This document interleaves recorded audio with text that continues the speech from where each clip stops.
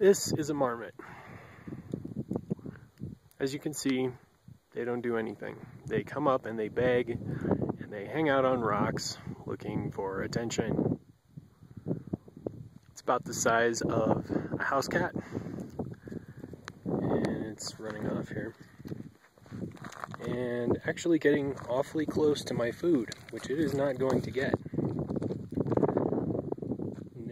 No. Not happening, buddy.